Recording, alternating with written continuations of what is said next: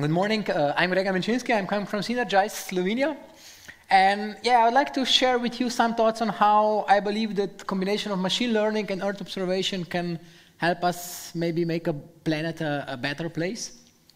And because not many of you are in the Earth observation field, I mean, at least based on the papers that uh, will be presented, I will go through the field and I will teach everything that is it about to know, so that at the end, you all are experts in the uh, machine learning in Earth observation and that you can go and start working in it. Now, climate change was mentioned, so this is the thing that worries me a lot recently, um, because, I mean, it is an issue, right? We are hearing for quite many years that the temperatures are rising, and we accepted the fact that the temperatures are rising because the carbon dioxide is rising, and that this one is rising much more, um, much faster lately than it was in the past. And I hope that most people in this room um, accept the view that this rise of the carbon dioxide is somehow related to the human activity more than just a natural cycle, right? I mean, this is what the science tells us. Um, and we know what we need to do uh, pretty well. We know also that we are not doing enough, right? Um, and the carbon dioxide is rising. And I mean, we are worried. Uh, we hear about these things, we think about these things, but we don't do much or we don't do anything at all. Now, the thing is that up to now, all of this was kind of, yeah, stories and, and science and so on, but now this thing is becoming a reality like in our local environment. we we're starting to feel it um, by ourselves. We're starting to feel the heat going on in the place that where we live, not somewhere out there, right? Like this year, it seems like the whole earth uh, was set on fire. I mean, these are all fires, wildfires from August, uh, from different places in the world going to the Arctics. I mean, even in the Arctics there are fires. And this was before the Amazon rainforest uh, was set on fire at the end of August. So, I mean, this was done before that. So it's really, really horrible. Um, we hear that ice is melting in places where there was not melt, uh, the ice melting before. And we hear the fires in the places where there are glaciers, which again is a horrible thing that this is possible. And we, we are starting to feel this, right? I mean, in India, Chennai, one of the largest cities, went uh, out of water this year. Um, and it doesn't seem that it will get uh, better soon. And it's, I mean, it's not just one city. Many places in India are facing the same issue. And it's not just India, many places in the world, like South Africa and, and, and other places, the same thing everywhere, right? So it's, it's really an issue, and this is why uh, I, I, find it so important.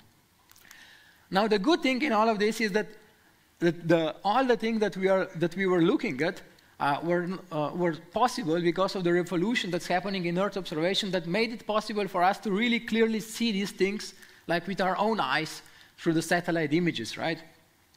And I mean, Earth observation is not new. It's there for like a couple of decades. But until recently, this was a game of like big industry players, right? Like Airbus and Digital Globe or Maxar, as they are called. Um, because I mean, like the billion uh, euro companies, because it was really expensive to build satellites to buy data. Now, five or ten years ago, there were startups that were starting to go in this field, like Google and Planet, um, but they were still shelving hundreds of millions of dollars to get to, to that. I mean, it was really, really expensive and not possible to approach it. But then, a couple of years ago, these guys came along. They are Sentinel satellites from the European Union Copernicus mission. Um, and they're similar to Landsat, which is there for a while already, the US. Uh, but they're just enough better that they really are, are making a difference. I mean, what these satellites give us is they give us every few days the picture of the, um, the, the, whole world, like of each and every place in the world, in either optical or radar, and very importantly, these data are available free of charge to anyone, right? Now, combining this with the cloud infrastructure, which is another part of revolution, you have uh, um, Amazon and Google and some others who are actually storing all this data, and we are talking about petabytes of data here, right? So it's really a lot of data. Sentinels are producing about 25 terabytes each day. They're putting it on the clouds, and you can go there to the cloud and start processing it. I mean, they pay for the storage. Obviously, we need to pay uh, for the processing when we go there, but it's really, really uh, um, accessible.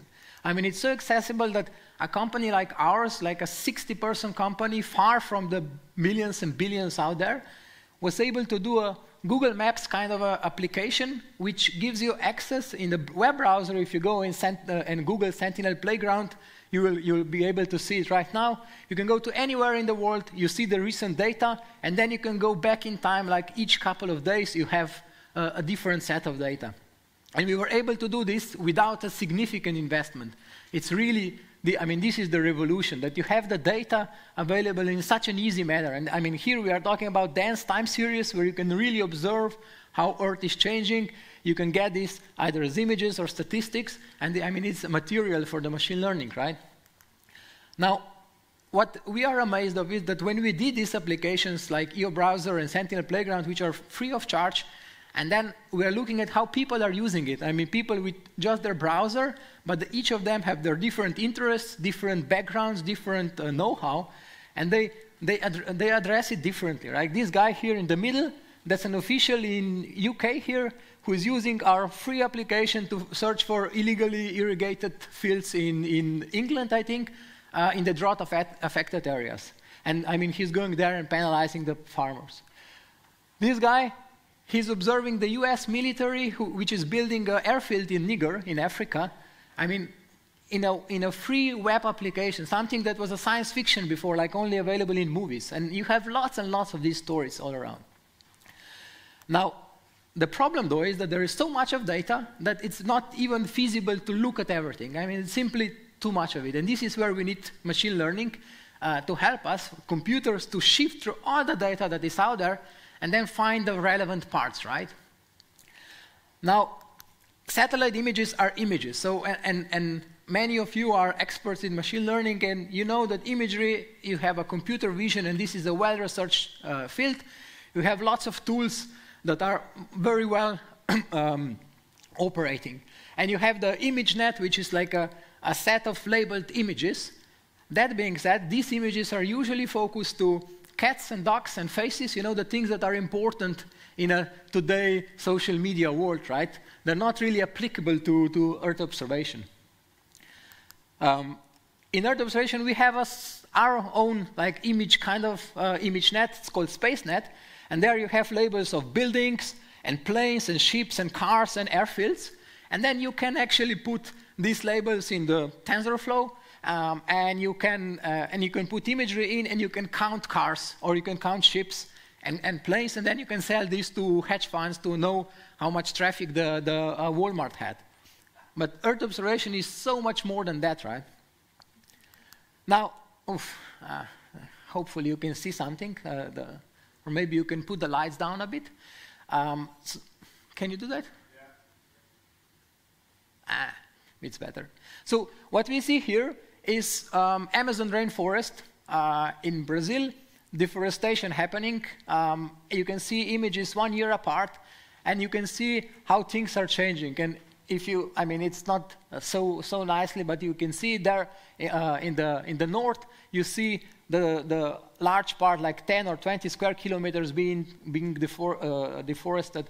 And you can, if I ask you, to find changes in these images, it's an easy task, right? And this is something that uh, um, the computer can also do quite easily. Change detection, uh, pretty straightforward. But now, if I put instead of the uh, uh, image from 2019, image that is just two months apart from that, you still see a lot of changes, um, a lot of changes, but many of these changes are not deforestation, right? They're just normal crop, uh, crop cycles, like things being harvested or being sowed and so on. And you have lots of these changes happening in nature that are actually irrelevant from the point of uh, um, looking at things. But then you have some things that are actually deforestation. And now this is where it's getting challenging how to actually uh, um, find the relevant information in all these images. Then you have these guys, clouds, lots of them. Um, lots of changes, but completely irrelevant, right? I mean, yeah, there are clouds there, nobody's interested in that. Um, then you have haze, right? Um, again, if you look at these two images, they look very much different, and, uh, and I mean, but the haze is, again, irrelevant thing. But then what you do have the, up there is smoke from the wildfires, and this is relevant. And now how you can, how you, I mean, we can, we are, uh, the persons are intelligent beings, but how, can how you can teach computer to separate haze from the smoke, right? It's not, this is where it's, it's getting uh, not trivial. Now, uh, what we do have, luckily, is that we have multispectral data. So in Earth observation, you're not dealing just with red, green, and blue that we are all used to, but you also have infrared and, and shortwave infrared. And this make it easier to separate some things, and you can clearly see and also uh, observe from the computer point of view differences up there when there is wildfire happening, or the fire might, might not be wildfire because it was set by humans. Uh, and, and this, this is easier. But it's also making the whole thing more complicated because you have lots of data. Now, in Earth observation, it's all about time series, right? And this is a typical time series that one has to deal with when uh, you are uh, trying to do machine learning. And you see that it's quite a challenging piece of data because it's quite, um, what can I say, uh, fuzzy. Now, this is the Amazon rainforest, so it's, uh, it's more cloudy than most other parts of the world, but that being said, here in UK, it's not much better, right? Um, there are lots of clouds here as well. Now, it's not just clouds. You also have these kind of things, right? Uh, your technical uh, errors that you have um, image moving because the pixels are not well aligned. Then what you have, if you observe here the, um, this thingy, and then you have the shadow, which is changing because of the sun angle is changing because of the different uh, uh, uh season. You have cloud shadows, I mentioned that. You have um, sun angles. You have various uh, resolutions. What we are looking at here is 10 meter Sentinel-2. We are used to Google Maps where you have half a meter resolution. Then you have uh, um, the, the, the, 100 meter resolution. So you, you are looking at things from different angles. So in order to, to, to uh, work with, the, with this data in machine learning, what you need to do is build this kind of stacks um, where you combine, where you slice the data through time and through the, through the spectrum, and then you filter out everything that is irrelevant, like clouds, and then you interpolate something so that you get um, a, a, chunk that you actually can fit in the normal uh, machine learning tool that it can work with. Then when you do that, um, it's challenging on how to apply the model that you uh, did on other places of the world, right? If you do the model for identifying water, this will probably work quite okay in other places as well because water looks more or less the same. But if you do a model for the crop classification and you train it here in UK and you try to apply it in Australia, it will probably not work well because you have a shift in the seasons, right? And you don't even need to go to Australia, you can just go 100 miles north or south and you'll have a problem. So you have lots of these transfer learning uh, things that, that actually uh, make a difference whether your model works nice only in the training set, like uh, in a research paper, or actually it's usable, usable for a wider uh, scale. Now, where there are challenges, there are also lots of opportunities, right? First one is that there's lots and lots of data available. Um, I mean, these are just the Sentinels, so I mentioned Sentinel-2, which is the optical, uh, 10 meter resolution. Then you have Sentinel-3, which is 300 meter resolution. But it gives you, so the Sentinel-2 gives you data every five days in each place of the world. Sentinel-3 gives you data every day. So you can now combine 300 meter resolution every day with 10 meter resolution every five days. Then you have Sentinel-1, which is radar, which sees through clouds, and you can combine these things where you have lots of cloudy data, or you, where you want to see some movements in the Earth. Sentinel-5P is emission, so you have really lots and lots of, and these are just Sentinels, you have Landsat, you have commercial data, you have lots of, of, of satellite data. And you also have lots of labels. I mean, uh, here the ImageNet or SpaceNet is not so relevant because you have actual uh, um, data from the ground because the, the um, governments are quite good at tracking things. Like you have building registers in most of the developed countries. So you have these polygons of buildings everywhere, I mean, all around the world. Not in all the countries, but lots and lots of this data. And they're up to date and they're updated. So you can look through time. Then um, you have, for agriculture purposes, usually agriculture is related to some subsidies to farmers, and they track things. You have, in Europe, we have this land parcel identification system and crop declarations, which also give you a very good idea of what was growing somewhere. You have lots of registers of landslides, forest, uh, forest wildfires, uh, um, uh, the, the, the floods, everything is usually registered somewhere, and you can take this data from the governments usually it's open and public, and you can just take it and, and, and rely on it. And then you go into the IoT field, which I mean gives you sensors from the ground, which you can then combine with the satellite, and that, that gives you another dimension. And last but not least, you have physics, right? I mean, with Earth observation, it's very important that we are looking at things on the, on the Earth which are mandated by physics.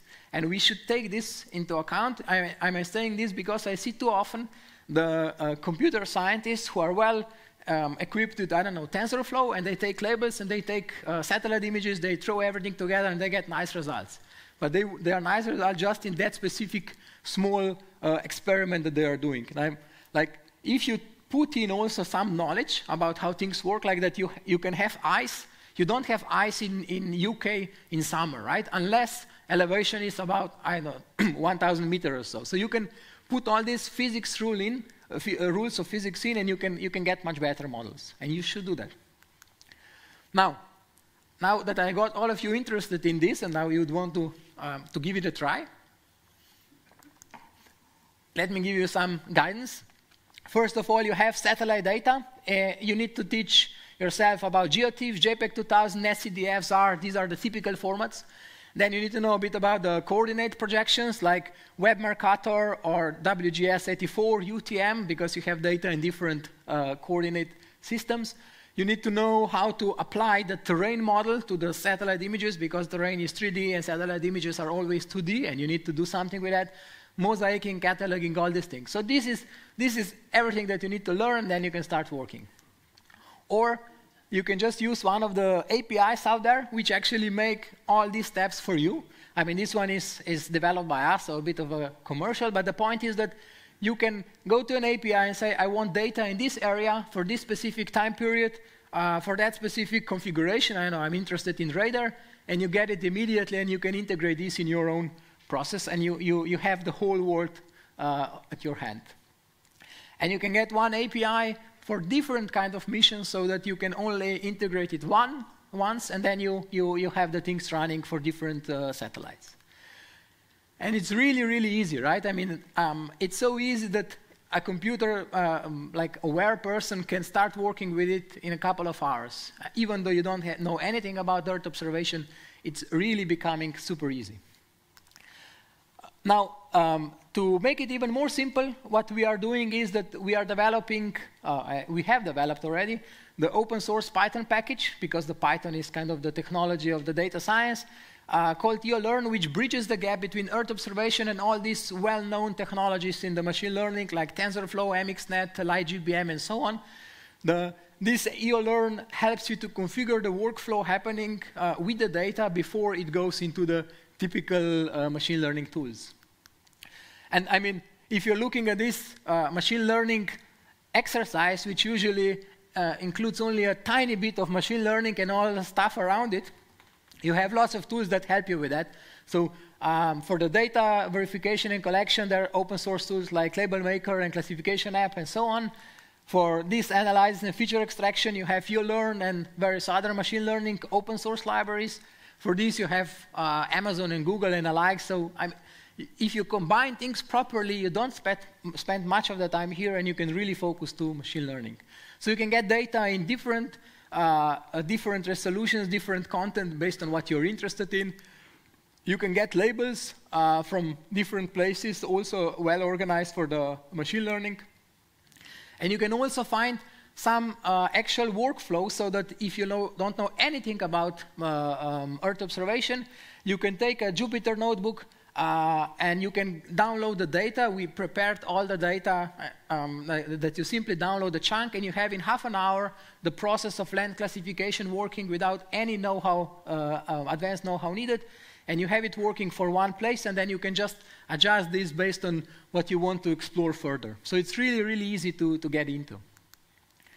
Now, to, to, to show how, how, I mean, how easy it is to, to make an impact, um, I want to tell you about this Global Surface Water Explorer, actually the idea behind it. So Global Surface Water Explorer was a project, uh, is a project, uh, a joint project by Google and Joint Research Center. And what they did is they processed the whole um, archive of Landsat data, whole globe, and they were searching for water, right? For each pixel in the world, they were searching whether there was water or not at specific point in time. And then if you click on some part, you simply get information how there was water all the time, right? Uh, if you click in this northern part of the lake, you see how there was water most of the time, but not uh, all the time, and there was more or less water. And I mean, this, this thing was a very important uh, exercise because it finally gave us, like the society, information on the, about the water on the global scale. Um, it was published in Nature, so it was really a big thing, right? Uh, that being said, um, it was quite expensive to run, right? I mean, this is what they stated in the, the paper that they spent 10 million processing hours to calculate these things. That's, that's something that probably most of us cannot afford because simply it costs too much. And even for them, um, so the, the paper was published in 2016, and then for two years the data were not updated because it was probably just too much of overhead.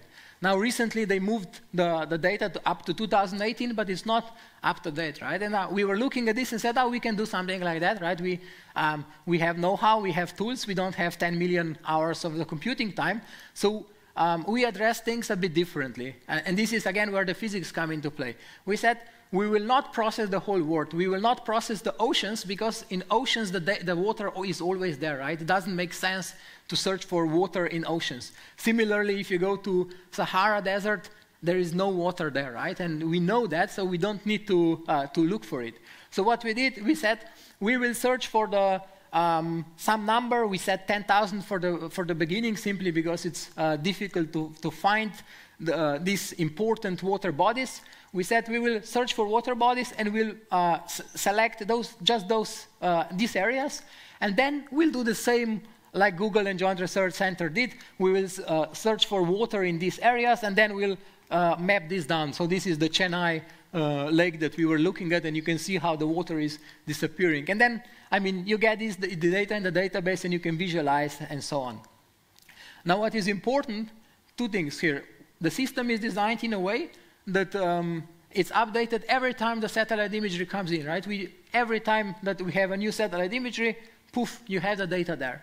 And another thing that is very important is that this thing costs less than 100 euros a month to operate. So it's really, really cheap.